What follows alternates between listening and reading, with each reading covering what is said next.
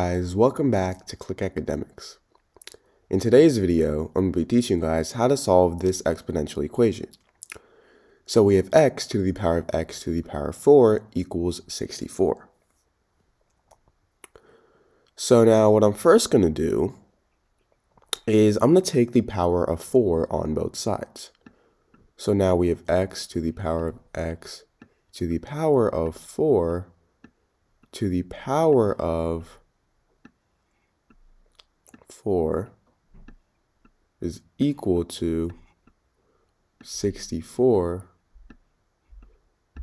to the power of 4. So now if if I have something in the form a to the power of m to the power of n, this is equal to a to the power of m times n, right?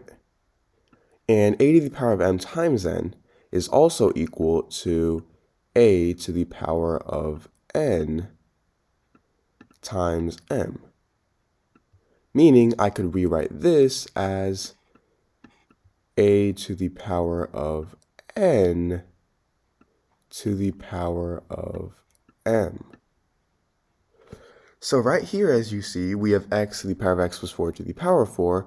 Think of x to the power of 4 as m and 4 as n. I could actually switch the places of these two, meaning I could rewrite this as x to the power of 4 to the power of x to the power of 4. And this is equal to, now I'm going to rewrite 64 as 8 squared.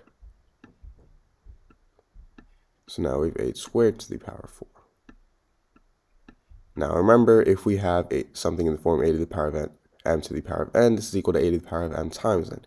Meaning a to the power of 2 to the power of 4 is equal to a to the power of 2 times 4, which is 8 to the power of 8.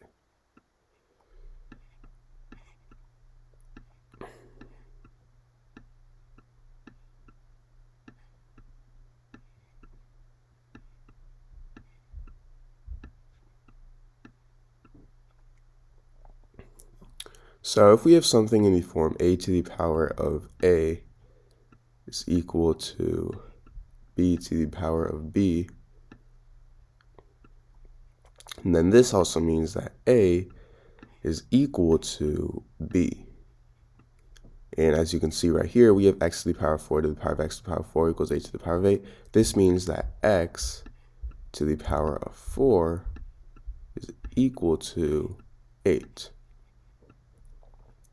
So now to cancel this power out, I'm actually going to take the root of 4 on both sides.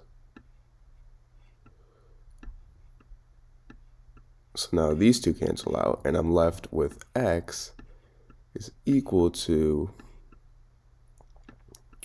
positive or negative square root of, sorry, not square root, root 4 of 8.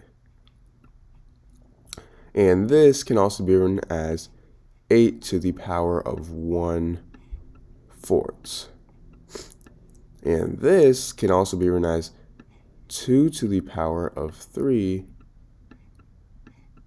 to the power of 1 fourths. And remember, we multiply m with n, so this is equal to 2 to the power of 3 fourths. So this is our answer.